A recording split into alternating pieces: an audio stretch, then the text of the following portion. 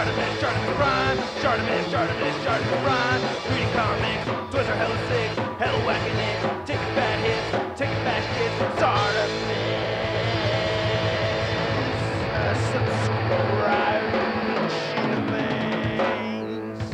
Oh well, I'm happy that we get the arm hair. Hey, what's up you guys? Shartimus Prime here, doing another Marvel Legends action figure review on the 2019 X-Men Wendigo Build-A-Figure Waves Nightcrawler. Try to pick up the set, you can do so. Big, big, big. Get your big badass toys at bigbadtoystore.com.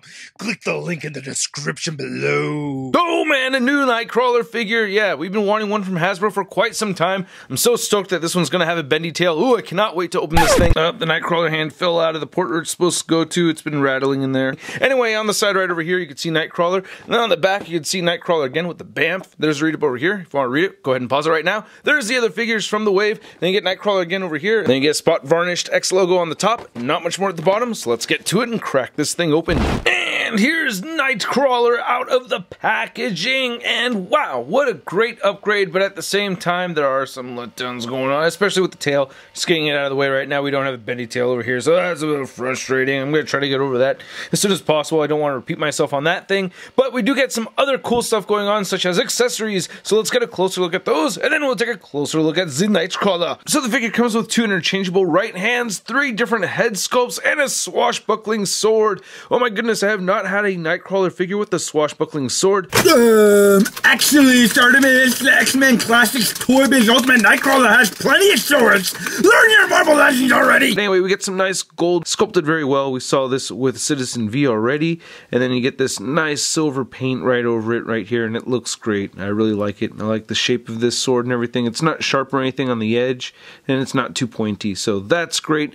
And it's meant to fit into this smaller hand right here. You can see that it's meant for swashbuckling, so you go ahead and go ahead and yeah, there you go. Want to go that way, and be careful and be gentle. There you go, and kind of chewed up a little bit of the plastic, only a little bit, but still looks really good. And then you get the wide open hand right over here, which looks great as well. So yeah, you definitely want to have that. Nice knuckles sculpted right there, and the palm looks good and everything. Then we get these three heads. I'll say this neutral head sculpt is my least favorite, but I really like all three of them. The blue just came out fantastic for this. I love how we have some dark blue right underneath the eyes, or black anyway. It could just be black underneath the eyes. The yellow looks really good. I like how the eyebrows are sculpted. The hair is awesome. The ears look great. I love how we have that blue over the black for the hair. So as far as each of these three head sculpts, I really can't complain much at all. I really do like all of them. Uh, here's a grinning Kurt Wagner right there. Looking fantastic. Again, I like the black paint around the eyes. The hair looks great. Love that grin. You can see his fangs are painted even, so that's awesome. Love that. And then we also get the very dark looking Nightcrawler, angry Nightcrawler, and he's drawn like this a lot of the time with the shadow over the top of his head.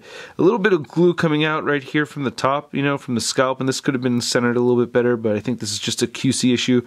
I've actually seen a couple of these, and then you can see the ears again are sculpted really well. And just like the other two, we get really good looking hair on this figure. And all three of the heads look really good on the body over here too, and I really like that we get this newly sculpted upper torso. This looks great. You can see how the vest is actually uh, layered on top right here. There's actually a groove sculpted into this hard plastic and you get a softer plastic right here for the vest.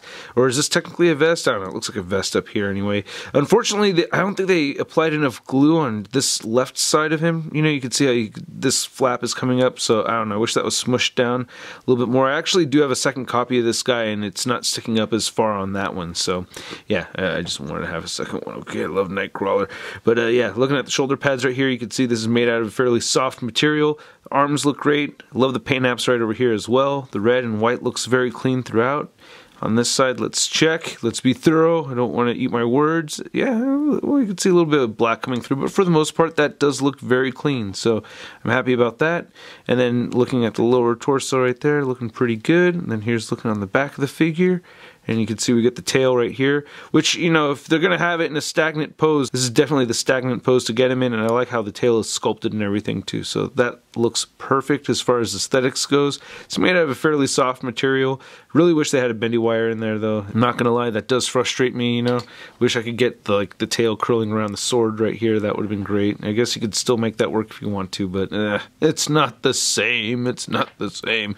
Legs look pretty good. I believe these are Spider-Man legs as well as Spider Spider-Man biceps right over here. I could be wrong about that, or Pizza Spider-Man more specifically, but yeah, looking at the knees and calves, red paint. You know, you can see some of the black coming through, but for the most part, I think it looks all right. And the white looks really good right over here, except for this piece uh, that's a little irritating. It's not like that on the other Nightcrawler figure. And the feet look great. You get the two toes right over there. You can see you get some nice wrinkles. All tricky to see. You can see the wrinkles right over here. So I like that. And yeah, there's the heel toes right there, and he has peg holes at the bottom of his feet. Yeah, man, the figure looks great, and we also get great articulation on this guy. You can move the heads all the way up, which is awesome. And he'll look all the way down. You get side to side motion. It shifts forward and back a little bit. A little bit of head tilting, just only a very tiny bit though. We do get butterfly joints right here, so you can see the shoulders shifting forward and back. You get the shoulder to lift upward that far, which is really good, and it'll move down that much. If you want the hands over the head, uh, you can get them moving that far inward with the hand raised above the head, so that's not too bad. You get a bicep swivel, double jointed elbows, both wrists turn side to side and hinge up and down that have the wide open gesture, uh, but this second right hand for swashbuckling is actually a horizontal movement or roll of the dice motion.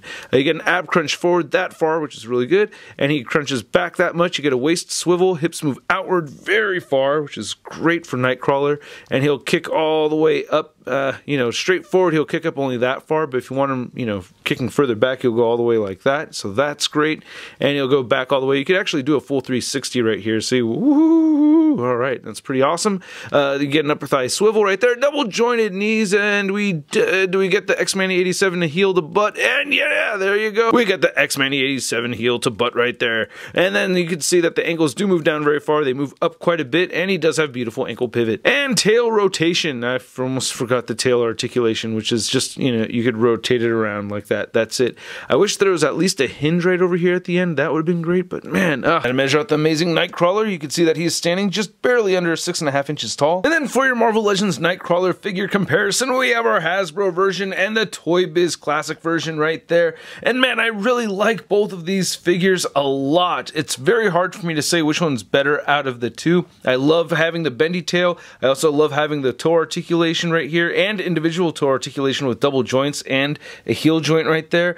I mean, there's a lot of things that I do like about this one, but this one right here, man, it's a great update. So it's hard for me to say at this very moment which one I prefer out of the two of them. I do think they're both great Nightcrawler figures. And then for another Nightcrawler comparison, we have our new Marvel Legends Nightcrawler next to the Marvel Select Nightcrawler, which does have a bendy tail and a lot of cool paint shading. But yeah, I do like the head sculpts from this one a lot more than the head sculpt on that one for sure. And the articulation is obviously a lot better than this one. But this one comes with the BAMF effect. I wish this one did have one. That would have been cool. If you have the SH Figuarts Star Lord, I did use the effect parts from that. You know, I had some fun with that. And then here's Nightcrawler next to a couple notable X-Men characters. We have Cyclops from the Phoenix 2-pack, the classic look, and then we have our recently released 80 Years Colossus. And I really like the 70s X-Men team that had Colossus, Cyclops, Wolverine, Storm, and Banshee. Uh, we do need a new Banshee figure and definitely want a Storm in that classic uniform. And then here's Nightcrawler next to the NECA Toys Preacher figure. Someone had recommended that I try to do a head swap with these figures, and I cannot get the head off the Preacher right over there, and I don't think these scale well enough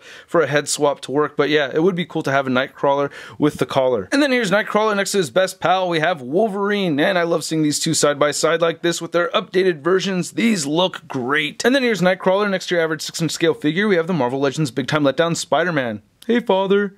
Hey, can I get a ride? You know, I always thought it'd be cool to teleport with you, and I've never really done that before, so. Woo! Whoa!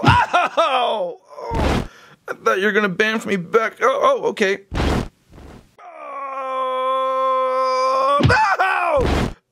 Two times? Come on. Can we do it again without the. Whoa! Whoa! Oh, come on, man. Can we do this without the. Whoa!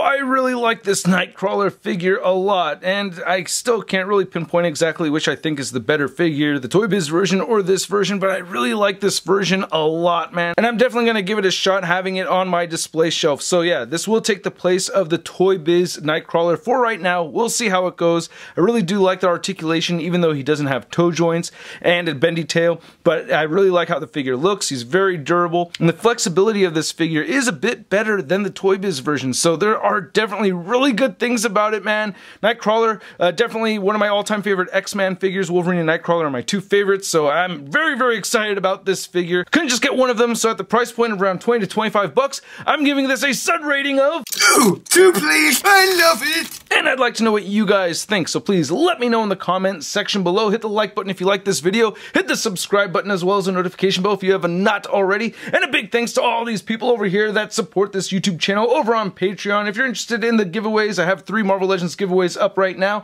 and if you're interested in the daily post, please check it out, link in the description below. If you want to see the latest Marvel news, check out marvelousnews.com, and don't forget to follow me over on the Instagram, Twitter, and Twitch, and I'll catch you guys later. Probably 80 years Iron Man tomorrow. Stay tuned. Peace! I'm posing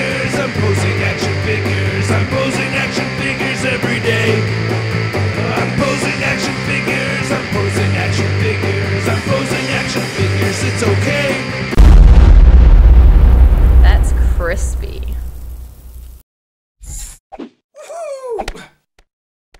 Hey, I'm new Shartimus Prime videos. Hey, you should click one. Yeah, click on one of them. Or subscribe if you haven't. Shot, shot, shot, shot, shot, shot,